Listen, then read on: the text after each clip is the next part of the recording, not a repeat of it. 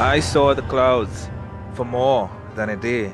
It rained and rained, miles upon miles, and many miles for many days.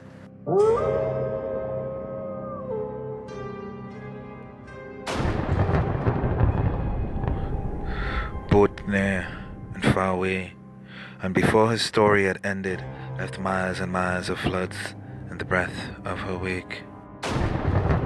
We asked to be treated light, begged when you refused to go away. You stayed, held up by bottlenecks of resistance in the soil below your old cranky feet.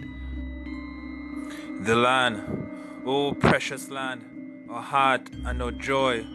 You took what you could on the face of this, but we fought you anyway. You chose to give the rest to our households and took all we owned away. What a pity. We had enough water to help our bats. We even shared her company at times most pleasantly when our souls grew warm and thirsty. Now, our hearts just wish you'd go away.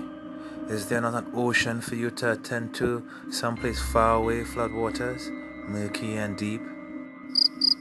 You've turned our land into a wasteland of all the waste made of our hands. The damage here is done, but yet you smile at us. You know, we all live day by day. Will you send mercy our way today? I heard the little girl with beaming tender eyes calmly ask, with a tear, as if she hoped the heavens would blush at her outstretched tiny hands. Aww. No sooner had she resigned from hope, a reply from heaven came. I did it for the flowers and the trees, little one. But you are neither of these. She proudly laughed, while she stealthily kept the strength of the sun rays behind the blanket of her clouds.